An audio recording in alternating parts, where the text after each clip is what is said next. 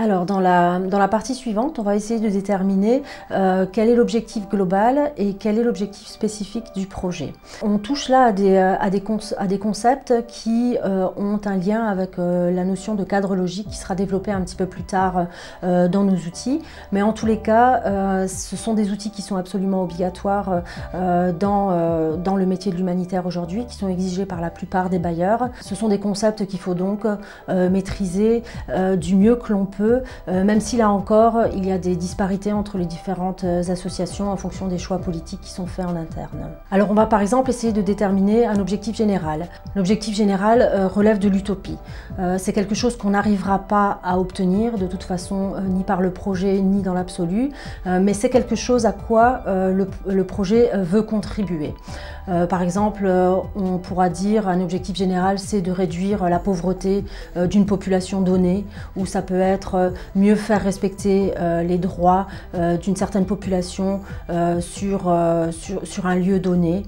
En tous les cas, c'est quelque chose qui est inatteignable, mais il est important de le préciser parce que le projet doit toujours euh, s'inscrire dans cet objectif global. Euh, c'est-à-dire que l'objectif spécifique du projet doit être en lien avec l'objectif global. Pour ce qui est de l'objectif spécifique, euh, c'est sans doute l'élément le plus important d'un projet.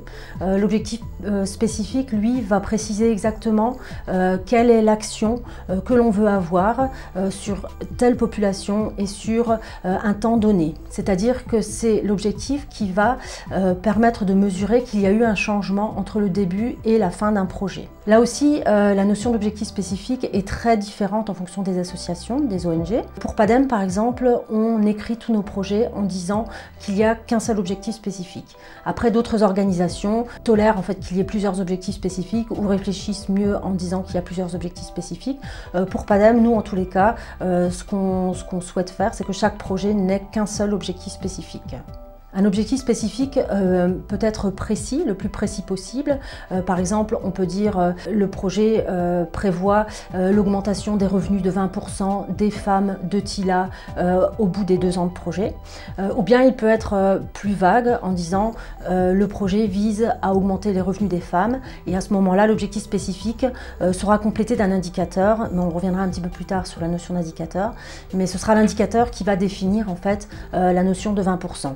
Euh, le fait qu'il n'y ait qu'un seul objectif spécifique euh, permet une facilité de la lecture euh, de chacun des projets de PADEM, une lecture commune de chacun des projets et va permettre aussi de mettre en place des procédures de suivi qui sont communes à tous les projets.